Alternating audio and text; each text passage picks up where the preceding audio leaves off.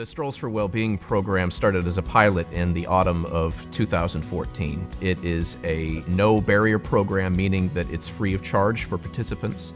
Um, and participants receive a, a, free guidebook. They participate in facilitated group discussions, and thus far, um, all of this has been possible through generous community donations.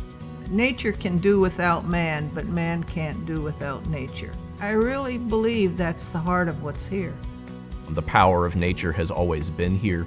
Um, it has always been able to affect people in deeply personal ways, but this program really puts a structure behind it and a support system behind it um, so that people from all walks of life can benefit from the restorative power of nature. People have said, you know, I came here, I was angry, I was, the universe was against me, you know, I was having these problems, and by the end, I'm, the problems seem minimized, and I feel hopeful anyone with whatever issues they have in their lives, or even if they have no issues, would benefit by coming and spending time here.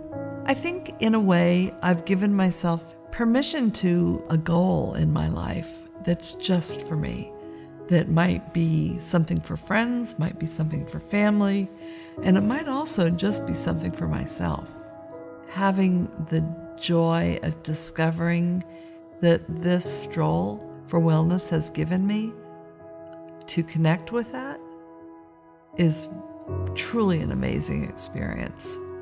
I'm coming off of two years since my husband Abner passed away, and I was literally wallowing, wallowing in grief, and I couldn't get out from under the bed.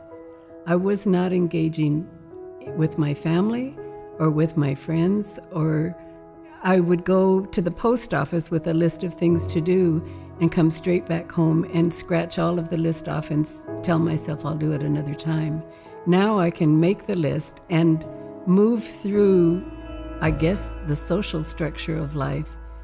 And it, it's amazing to me. It's, I'm blossoming again.